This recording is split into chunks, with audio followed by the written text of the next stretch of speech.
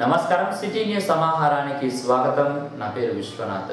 ఈ నెల ఇరవై ఎనిమిదిన హుస్నాబాద్లో జరిగిన జిల్లా స్థాయి టేబుల్ టెన్నిస్ క్రీడలో స్థానిక సుల్తానాబాద్ ఆల్ఫోర్స్ ఉన్నత పాఠశాల విద్యార్థులు విజయ కేంద్రాన్ని ఎగురవేశారు.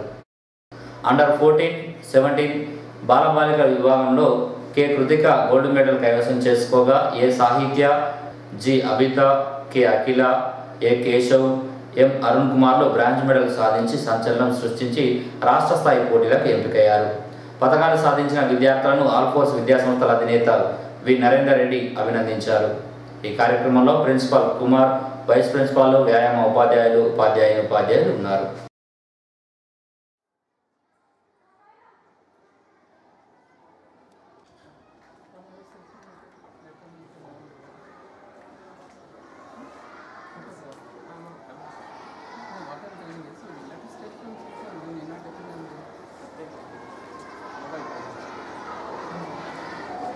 సో ఇక్కడ సుల్తానాబాద్ ఆల్ఫోర్ స్కూల్ ఆఫ్ జెన్నెక్స్ నుంచి నిన్న జరిగిన table tennis district level uh, కాంపిటీషన్స్లో పిల్లలు అద్భుతమైన ప్రతిభను కనపరిచారు.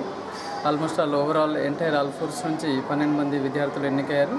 అందులో నుంచి ఇక్కడ ఈ సుల్తానాబాద్ క్యాంపస్ నుంచి ఆరుగురు పిల్లలు స్టేట్ మీట్కి ఎంపిక కావడం అనేది చాలా సంతోషం. అట్లాగే సాఫ్ట్ బాల్లో కూడా ఇక్కడ నుంచి పిల్లలు ఆరుగురు విద్యార్థి విద్యార్థులు స్టేట్ మీట్కు ఎంపిక కావడం జరిగింది. అట్లాగే మరి ఇక్కడ మా స్టూడెంట్ సైన్స్ ఫేర్ నుంచి కూడా ఈ సుల్తానాబాద్ స్కూల్ నుంచి స్టేట్ లెవెల్కి మన ప్రాజెక్ట్ ఎంపిక కావడం జరిగింది. సో ఏదేమైనా మరి సుల్తానాబాద్ అనే చిన్న విలేజ్లో కూడా పిల్లలు అటు సైన్స్లో కావచ్చు తర్వాత ఆట పోటీలలో కూడా కావచ్చు అత్యధికమైన ప్రతిభను కనబరుస్తున్నారు. వారందరికీ నా అభినందనలు. అట్లాగే ఇక్కడ పీఈటీస్ తర్వాత ప్రిన్సిపాల్ వాళ్ళని కూడా ఈ సందర్భంగా అభినందిస్తూ మరి ఇంకా ముందు ముందు అన్ని పోటీలలో ఎక్కువ సంఖ్యలో ఇక్కడ నుంచి మరి స్టేట్ మీట్కి నేషనల్ మీట్లకు వెళ్ళాల్సిందిగా నేను ఈ పిల్లలందరినీ కూడా కోరుకుంటూ మరొకసారి వారికి అభినందనలు తెలియజేస్తున్నాను. కరీంనగర్ జిల్లా రైస్ మిల్లర్స్ వెల్ఫేర్ అసోసియేషన్ ఆత్మీయ సమ్మేళనం సుల్తానాబాద్లోని వైశ్య భవన్లో మంగళవారం జరిగింది. బుధవారం జరిగే ఎన్నికల్లో ఐదు వందల ముప్పై ఏడు మంది రైస్ మిల్లర్లు పాల్గొనున్నారు. ఈ కార్యక్రమంలో రైస్ మిల్లర్లు పాల్గొన్నారు.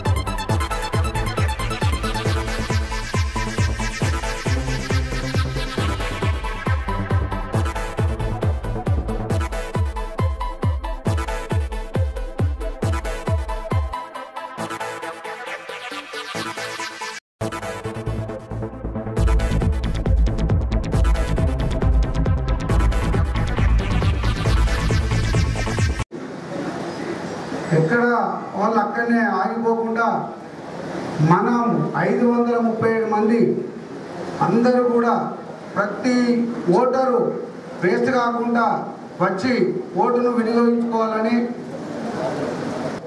రేపు జరగబోయే ఏదైతే ఈ ఎలక్షన్ నామమాత్రమే అయినా ఉన్నాయి కాబట్టి కంపల్సరీ ఓటింగ్ వేసి అతన్ని అత్యధిక ఐదు వందల ముప్పై ఏడు ఓట్లు వేసి మంత్రి గారికి కానుకగా ఇచ్చి బంగారు తెలంగాణ పాటలో బంగారు రైస్ మిల్ కూడా ఉండాలనేటువంటి ఆలోచన విధానానికి మీరు స్ఫూర్తి ఇవ్వాలని మీ అందరికీ కూడా సవినయంగా కోరుకుంటున్నాను. ఆ మనీ కావాలంటే మనందరం దానికి కోఆపరేట్ చేయాలి. ఆ కోఆపరేట్ చేయాలంటే మరి అన్ని ప్రతి ఒక్కరికి మనం ఈ తెలియజేసిన బాధ్యత ఉంటుంది కాబట్టి మరి తెలియాలంటే కొందరు వారి స్వార్థ ప్రజల కోసం కొందరు ఇవ్వడం లేదు. కాబట్టి దయచేసి ఒక యూనిట్గా ఉండే ఒక కానీ మనందరి బాధ్యత. ఏ ఒక్కరు కూడా మన అశ్వతకు సహకరించకపోతే వారిని మనందరం అది ఏ విధంగా అంటే శ్రామదాన భేద దండపాలు ఉపయోగించి వారిని మన శోషణ తీసుకురావాల్సిందే. వారితోని మనము పని చేయించుకోవాల్సిందే. మరి ఎవరన్నా మనం అశోచన దాటి పక్క పోతే మాత్రం ఎందుకంటే వారి వారే సివిల్ సప్లై మినిస్టర్ మినిస్టరే వారు. రాజేంద్ర గారికి ఒక నాలుగు నెలల క్రితమే ఒక బహిరంగ సభ పెట్టి కూడా బ్యాంకు లోన్ల గురించి కూడా రీషెడ్యూల్గా మనను బ్యాంకు వాళ్ళు ఒక నాలుగు సంవత్సరాల వరకు ఇంట్రెస్ట్ అడగద్దని కూడా చెప్పడం జరిగింది. వారికి కూడా అవగాహన ఉన్నది. దానిని కూడా బచ్చు భాస్కర్ గారి వెయ్యి స్వయాన మాట్లాడితే స్టేట్ అసోసియేషన్ వాళ్ళకు కూడా తెలుసు. దాన్ని కూడా చేస్తే మన ఇండస్ట్రీ బాగుపడుతుంది. యాభై రూపాయల ఫైలు మంత్రి వారి దగ్గర ఉంది.